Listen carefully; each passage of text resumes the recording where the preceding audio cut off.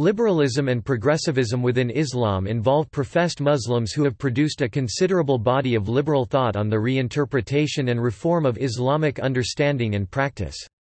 Their work is sometimes characterized as progressive Islam Arabic, Alaslam altmi al-Islam at Takadumi. Some regard progressive Islam and liberal Islam as two distinct movements. The methodologies of liberal or progressive Islam rest on the interpretation and reinterpretation of traditional Islamic scripture, the Quran, and other texts such as the Hadith, a process called ijtihad See below.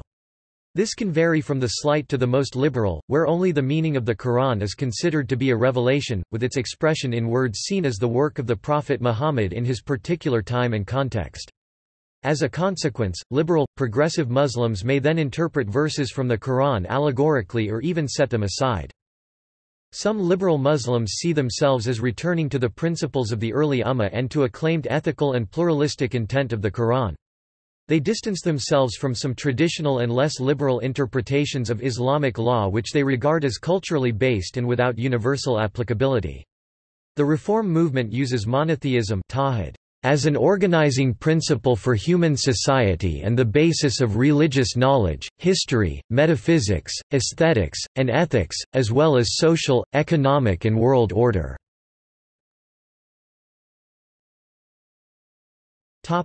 Background in Islamic philosophy The rise of Islam, based on both the Quran and Muhammad strongly altered the power balances and perceptions of origin of power in the Mediterranean region. Early Islamic philosophy emphasized an inexorable link between science and religion, and the process of ijtihad to find truth. In effect all philosophy was political, as it had real implications for governance. This view was challenged by the rationalist Mutazilite philosophers, who held a more Hellenic view, reason above revelation, and as such are known to modern scholars as the first speculative theologians of Islam, they were supported by a secular aristocracy who sought freedom of action independent of the caliphate. By the late ancient period, however, the traditionalist Asharite view of Islam had in general triumphed. According to the Asharites, reason must be subordinate to the Quran and the Sunnah. Ibn Rushd, often Latinized as Averroes, was a medieval Andalusian polymath. Being described as founding father of secular thought in Western Europe, he was known by the nickname the Commentator for his precious commentaries on Aristotle's works. His main work was The Incoherence of the Incoherence in which he defended philosophy against al-Ghazali's claims in The Incoherence of the Philosophers. His other works were the Fasl al-Maqal and the Kitab al-Kashf. Ibn Rushd presented an argument in Fasl al-Maqal decisive treatise providing a justification for the emancipation of science and philosophy from official Ash'ari theology and that there is no inherent contradiction between philosophy and religion, thus Averroism has been considered a precursor to modern secularism. Ibn Rushd accepts the principle of women's equality. According to him they should be educated and allowed to serve in the military, the best among them might be tomorrow's philosophers or rulers. The 13th-century philosophical movement in Latin Christian and Jewish tradition based on Ibn Rushd's work is called Averroism. Ibn Rushd became something of a symbolic figure in the debate over the decline and proposed revitalization of Islamic thought and Islamic society in the later 20th century. A notable proponent of such a revival of Averroist thought in Islamic society was Muhammad Abed al-Jabri with his Critique de la Raison arabe 1982. .In 1831, Egyptian Egyptologist and Renaissance intellectual Rifa al-Tahtawi was part of the statewide effort to modernize the Egyptian infrastructure and education. They introduced his Egyptian audience to Enlightenment ideas such as secular authority and political rights and liberty, his ideas regarding how a modern civilized society ought to be and what constituted by extension a civilized or good Egyptian, and his ideas on public interest and public good. Tahtawi's work was the first effort in what became an Egyptian Renaissance Nahda that flourished in the years between 1860 to 1940. Tahtawi is considered one of the early adapters to Islamic modernism. Islamic modernists attempted to integrate Islamic principles with European social theories. In 1826, al-Tahtawi was sent to Paris by Mehmet Ali. Tahtawi studied at an educational mission for five years, returning in 1831. Tahtawi was appointed director of the School of Languages. At the school, he worked translating European books into Arabic. Tahtawi was instrumental in translating military manuals, geography, and European history. In total, al-Tahtawi supervised the translation of over 2,000 foreign works into Arabic. Al-Tahtawi even made favorable comments about French society in some of his books. Tahtawi stressed that the principles of Islam are compatible with those of European modernity. In his piece, The Extraction of Gold or an Overview of Paris, Tahtawi discusses the patriotic responsibility of citizenship. Tahtawi uses Roman civilization as an example for what could become of Islamic civilizations. At one point all Romans are united under one Caesar but split into East and West. After splitting, the two nations see all its wars ended in defeat, and it retreated from a perfect existence to non-existence. Tahtawi understands that if Egypt is unable to remain united, it could fall prey to outside invaders. Tahtawi stresses the importance of citizens defending the patriotic duty of their country. One way to protect one's country according to Tahtawi, is to accept the changes that come with a modern society. Egyptian Islamic jurist and religious scholar Muhammad Abduh, regarded as one of the key founding figures of Islamic modernism or sometimes called Neo-Mutazilism, broke the rigidity of the Muslim ritual, dogma, and family ties. Abduh argued that Muslims could not simply rely on the interpretations of texts provided by medieval clerics, they needed to use reason to keep up with changing times. He said that in Islam man was not created to be led by a bridle, man was given intelligence so that he could be guided by knowledge. According to Abduh, a teacher's role was to direct men towards study. He believed that Islam encouraged men to detach from the world of their ancestors and that Islam reproved the slavish imitation of tradition. He said that the two greatest possessions relating to religion that man was graced with were independence of will and independence of thought and opinion. It was with the help of these tools that he could attain happiness. He believed that the growth of Western civilization in Europe was based on these two principles. He thought that Europeans were roused to act after a large number of them were able to exercise their choice and to seek out facts with their minds. In his works, he portrays God as educating humanity from its childhood through its youth and then on to adulthood. According to him, Islam is the only religion whose dogmas can be proven by reasoning. He was against polygamy and thought that it was an archaic custom. He believed in a form of Islam that would liberate men from enslavement, provide equal rights for all human beings, abolish the religious scholars' monopoly on exegesis, and abolish racial discrimination and religious compulsion. Muhammad Abduh claimed in his book, Al-Ittihad fi al-Nasraniya wa al-Islam, that no one had exclusive religious authority in the Islamic world. He argued that the caliph did not represent religious authority, because he was not infallible nor was the caliph the person whom the revelation was given to, therefore, according to Abduh, the caliph and other Muslims are equal. Abduh argued that the caliph should have the respect of the ummah but not rule it. The unity of the ummah is a moral unity which does not prevent its division into national states. Muhammad Abduh made great efforts to preach harmony between Sunnis and Shias. Broadly speaking, he preached brotherhood between all schools of thought in Islam. Abduh regularly called for better friendship between religious communities. As Christianity was the second biggest religion in Egypt, he devoted special efforts towards friendship between Muslims and Christians. He had many Christian friends and many a time he stood up to defend Copts. Egyptian Quranic thinker, author, academic Nasser Hamid Abu Zaid is one of the leading liberal theologians in Islam. He is famous for his project of a humanistic Quranic hermeneutics, which challenged mainstream views on the Quran sparking controversy and debate. While not denying that the Quran was of divine origin, Zayd argued that it was a cultural product that had to be read in the context of the language and culture of 7th-century Arabs, and could be interpreted in more than one way. He also criticized the use of religion to exert political power. In 1995 an Egyptian Sharia court declared him an apostate, this led to threats of death and his fleeing Egypt several weeks later, he later, quietly, returned to Egypt where he died. According to scholar Navid Kermani, three key themes emerge from Abu Zayd's work to trace the various interpretations and historical settings of the single Quranic text from the early days of Islam up to the present to demonstrate the interpretational diversity al-ta'addud al-ta'wili that exists within the Islamic tradition and to show how this diversity has been increasingly neglected. Across Islamic history, Abu Zayd saw himself as an heir to the Mu'tazila particularly their idea of the created Qur'an and their tendency toward metaphorical interpretation.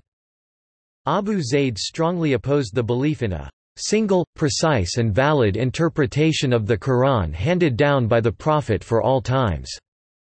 In his view, the Quran made Islamic Arab culture a culture of the text Hadarat al-Nas par excellence, but because the language of the Quran is not self-explanatory, this implied Islamic Arab culture was also a culture of interpretation Hadarat al-Tawil. Abu Zayd emphasized intellect aql in understanding the Quran, as opposed to a hermeneutical approach which gives priority to the narrated traditions hadith. NAQL. As a reflection of this Abu Zayd used the term tawil interpretation for efforts to understand the Quran, while in the Islamic sciences, the literature that explained the Quran was referred to as tafsir commentary, explanation. For Abu Zayd, interpretation goes beyond explanation or commentary, for without the Quran would not have meaning the Quranic text changed from the very first moment, that is, when the Prophet recited it at the moment of its revelation, from its existence as a divine text and became something understandable, a human text because it changed from revelation to interpretation li anahu min al-tanzil ila al-tawil. The Prophet's understanding of the text is one of the first phases of movement resulting from the text's connection with the human intellect. From the beginning of his academic career, Abu Zaid developed a renewed hermeneutic view the theory and methodology of text interpretation of the Quran and further Islamic holy texts, arguing that they should be interpreted in the historical and cultural context of their time. The mistake of many Muslim scholars was to see the Quran only as a text, which led conservatives as well as liberals to a battle of quotations, each group seeing clear verses when on their side and ambiguous ones when in contradiction with their vision. But this type of controversy led both conservatives and liberals to produce authoritative hermeneutics.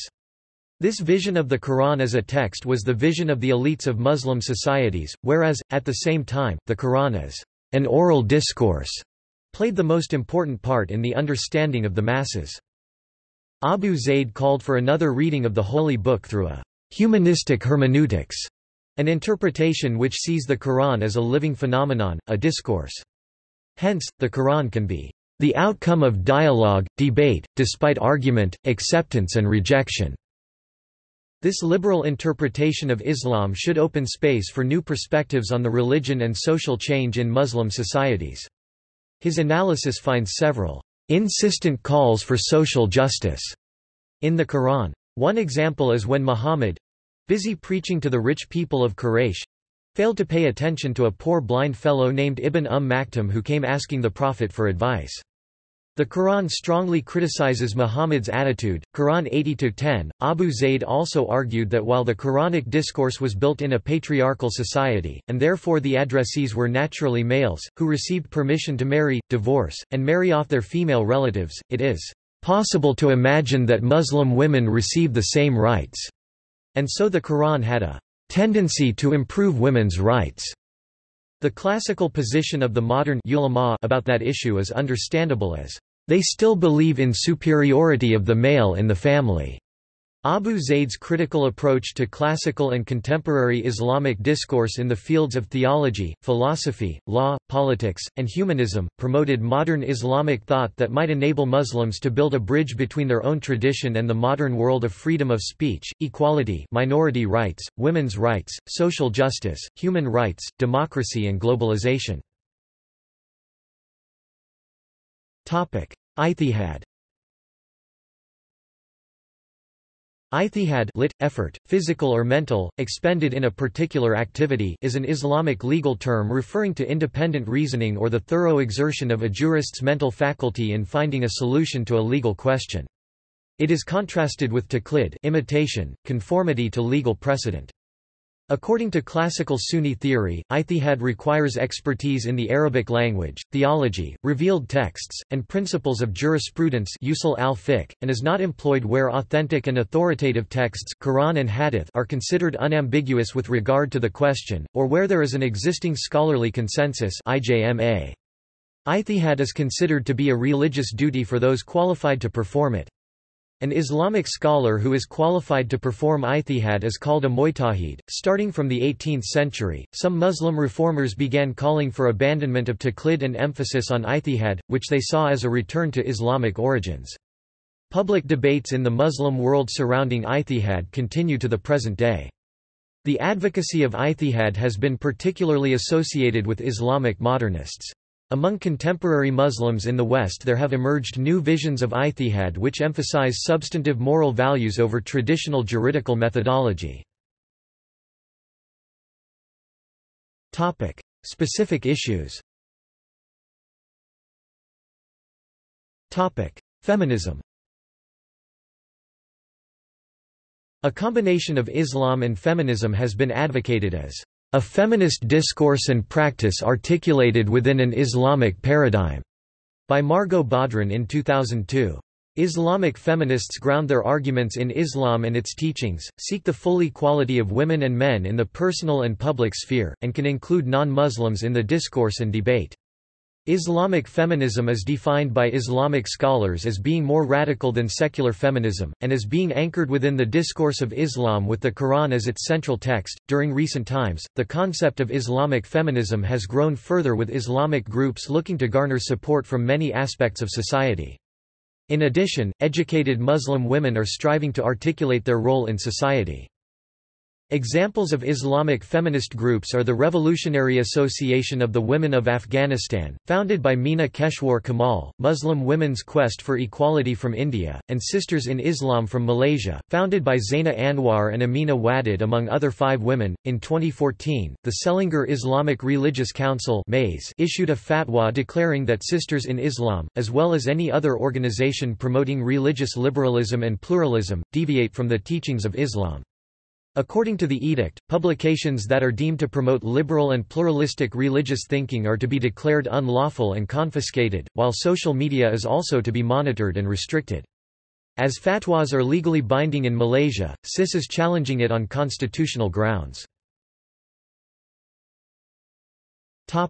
Human rights Moderate Islamic political thought contends that the nurturing of the Muslim identity and the propagation of values such as democracy and human rights are not mutually exclusive, but rather should be promoted together. Most liberal Muslims believe that Islam promotes the notion of absolute equality of all humanity, and that it is one of its central concepts. Therefore, a breach of human rights has become a source of great concern to most liberal Muslims. Liberal Muslims differ with their culturally conservative counterparts in that they believe that all humanity is represented under the umbrella of human rights. Many Muslim-majority countries have signed international human rights treaties, but the impact of these largely remains to be seen in local legal systems, a point highlighted by the fact that most countries which impose conservative interpretations of sharia law are amongst the most repressive countries in the world, while secular states are often the most open and tolerant. Muslim liberals often reject traditional interpretations of Islamic law, which allows ma malakat aymanukum and slavery. They say that slavery opposed Islamic principles which they believe to be based on justice and equality and some say that verses relating to slavery or ma malakat aymanukum now cannot be applied due to the fact that the world has changed, while others say that those verses are totally misinterpreted and twisted to legitimize slavery. In the 20th century, South Asian scholars Ghulam Ahmed Pervez and Amir Ali argued that the expression ma malakat aymanukum should be properly read in the past tense. When some called for reinstatement of slavery in Pakistan upon its independence from the British colonial rule, Pervez argued that the past tense of this expression means that the Quran had imposed an unqualified ban on slavery. LGBT rights In January 2013 was launched the Muslim Alliance for Sexual and Gender Diversity The organization was formed by members of the Queer Muslim Working Group, with the support of the National Gay and Lesbian Task Force. Several initial MASGD members previously had been involved with the Al Fatihah Foundation, including Faisal Alam and Imam Daayiee Abdullah. The Safra Project for Women is based in the UK. It supports and works on issues relating to prejudice LGBTQ Muslim women. It was founded in October 2001 by Muslim LBT women. The Safra Project's ethos is one of inclusiveness and diversity. In Australia, Nur Warsame has been an advocate for LGBTI Muslims and founded Marhaba, a support group for queer Muslims in Melbourne, Australia. In May 2016, Warsame revealed that he is homosexual in an interview on SBS 2's The Feed, being the first openly gay imam in Australia. In Canada, Salam is the first gay Muslim group in Canada and second in the world. Salam was found in 1993 by El Farouk Khaki, who organized the Salam Al Fateh International Conference in 2003. In May 2009, the Toronto Unity Mosque El Tawhid Juma Circle was founded by Laury Silvers, a University of Toronto religious studies scholar, alongside Muslim gay rights activists El Farouk Khaki and Troy Jackson. Unity Mosque, ETJC is a gender-equal, LGBT plus affirming, mosque. In November 2012, a prayer room was set up in Paris, France by gay Islamic scholar and founder of the group Homosexual Muslims of France Ludovic Mohamed Zahed. It was described by the press as the first gay-friendly mosque in Europe. The reaction from the rest of the Muslim community in France has been mixed. The opening has been condemned by the Grand Mosque of Paris. Examples of Muslim LGBT media works are the 2006 Channel Faz documentary Gay Muslims, the film production company Unity Productions Foundation, the 2007 and 2015 documentary films A Jihad for Love and A Sinner in Mecca, both produced by Parvez Sharma, and the Jordanian LGBT publication My, Kali. Secularism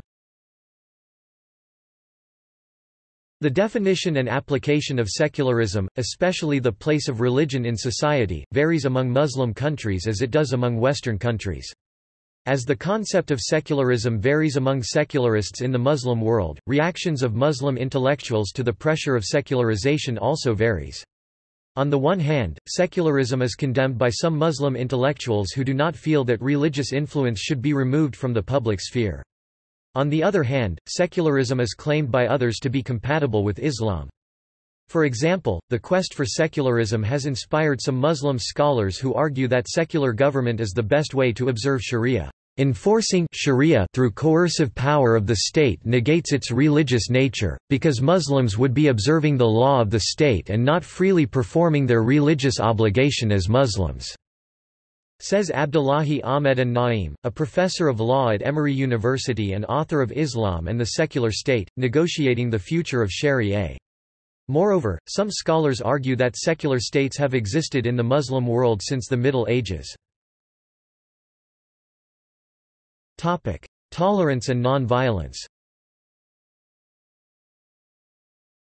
Topic: Movements. Over the course of the 19th and 20th centuries, in accordance with their increasingly modern societies and outlooks, liberal Muslims have tended to reinterpret many aspects of the application of their religion in their life in an attempt to reconnect. This is particularly true of Muslims who now find themselves living in non-Muslim countries. At least one observer Max Rodenbeck has noted several challenges to reform i.e. accommodation with the Enlightenment, reason and science, the separation of religion and politics, that the other two Abrahamic faiths did not have to grapple with, whereas Christian and Jewish reform evolved over centuries, in relatively organic and self-generated—albeit often bloody, Fashion, the challenge to Islam of such concepts as empirical reasoning, the nation-state, the theory of evolution, and individualism arrived all in a heap and all too often at the point of a gun. In addition traditional sharia law has been shaped in all its complexity by serving for centuries as the backbone of legal systems of Muslim states, while millions of Muslim now live in non-Muslim states.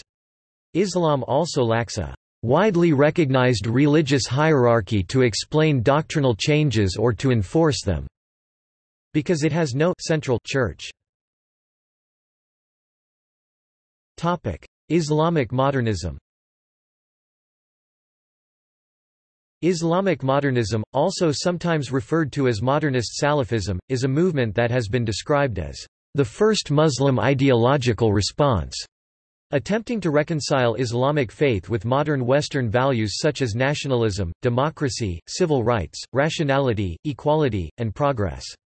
It featured a critical re-examination of the classical conceptions and methods of jurisprudence, and a new approach to Islamic theology and Quranic exegesis tafsir. .It was the first of several Islamic movements, including secularism, Islamism and Salafism, that emerged in the middle of the 19th century in reaction to the rapid changes of the time, especially the perceived onslaught of Western civilization and colonialism on the Muslim world. Founders include Muhammad Abduh, a sheikh of Al-Azhar University for a brief period before his death in 1905, Jamal ad-Din al-Afghani, and Muhammad Rashid Rida d. 1935. The early Islamic modernists al-Afghani and Muhammad Abduh used the term Salafiyya to refer to their attempt at renovation of Islamic thought, and this Salafiyya movement is often known in the West as Islamic modernism. Although it is very different from what is currently called the Salafi movement, which generally signifies ideologies such as Wahhabism. Since its inception, modernism has suffered from co-option of its original reformism by both secularist rulers and by the official ulama, whose task it is to legitimize Rulers' actions in religious terms. Modernism differs from secularism in that it insists on the importance of religious faith in public life, and from Salafism or Islamism in that it embraces contemporary European institutions, social processes, and values. Quranism Quranists believe Muhammad himself was a Quranist and the founder of Quranism, and that his followers distorted the faith and split into schisms and factions such as Sunni, Shia, and Khawarij. Quranists reject the Hadith and follow the Quran only. The extent to which Quranists reject the authenticity of the Sunnah varies, but the more established groups have thoroughly criticized the authenticity of the Hadith and refused it for many reasons, the most prevalent being the Quranist claim that Hadith is not mentioned in the Quran as a source of Islamic theology and practice, was not recorded in written form until more than two centuries after the death of the Muhammad, and contain perceived internal errors and contradictions. Tolu-e-Islam The movement was initiated by Muhammad Iqbal, and later spearheaded by Ghulam Ahmed Pervez. Ghulam Ahmed Pervez did not reject all hadiths, however, he only accepted hadiths which are in accordance with the Quran or do not stain the character of the Prophet or his companions. The organization publishes and distributes books, pamphlets, and recordings of Pervez's teachings. Tolu-e-Islam does not belong to any political party, nor does it belong to any religious group or sect. It is strictly against sectarianism, because such acts of creating sects divisions in Islam is equal in magnitude to shirk, i.e. rejection of monotheism. See also Islam and modernity Islamic revival Modern Islamic philosophy Notes References Further reading Safi, Omid, Progressive Islam, in Muhammad in History, Thought, and Culture, An Encyclopedia of the Prophet of God 2 vols, edited by C. Fitzpatrick and A. Walker, Santa Barbara, ABC Clio, 2014, Vol. 2, pp. 486–490. ISBN 1610691776 Quran and Woman by Amina Wadud. American Muslims, Bridging Faith and Freedom by M. A. Muqtadar Khan. Charles Kurzman, ed. 1998. Liberal Islam, a Sourcebook. Oxford University Press, USA. ISBN 0-19-511622-4. Progressive Muslims, on Justice, Gender, and Pluralism, edited by Omid Safi. Debating Moderate Islam, edited by M. A. Muqtadar Khan. Quran, Liberation and Pluralism by Farid Esack. Revival and Reform in Islam by Fazlur Rahman Malik. The Unthought in Contemporary Islamic Thought by Muhammad Arkoun. Unveiling Traditions, Postcolonial Islam in a Polycentric World by Anouar Majid. Islam and Science, Religious Orthodoxy and the Battle for Rationality by Pervez Hoodbhoy. Islam as Mercy, Essential Features of a Modern Religion, by Mohanad Khorchide 2012, English 2014. The Viability of Islamic Science by S. Irfan Habib, Economic and Political Weekly, June 5, 2004. The reformist Islamic thinker Muhammad Shahrur, in the footsteps of Averroes A liberal Muslim blog Vanessa Karam, Olivia Samad and Ani Zonneveld, eds. 2011. Progressive Muslim Identities. Oracle Releasing. ISBN 978 0 9837161 5 Mustafa Akyol 2011. Islam Without Extremes, A Muslim Case for Liberty. W. W. Norton and Company. ISBN 978-0-393-07086-6. Alrabaa, Sami 2010. Veiled Atrocities, True Stories of Oppression in Saudi Arabia. Amherst, N.Y., Prometheus Books. ISBN 978-1-61614-159-2. Al-Rasheed, Madawi 2007. Contesting the Saudi State, Islamic Voices from a New Generation. New York, Cambridge University Press. ISBN 0-521-85836-4. Topic external links Charles Kurzman's Liberal Islam Links, compiled by the author of Liberal Islam, a sourcebook. Muslim Reform Movement website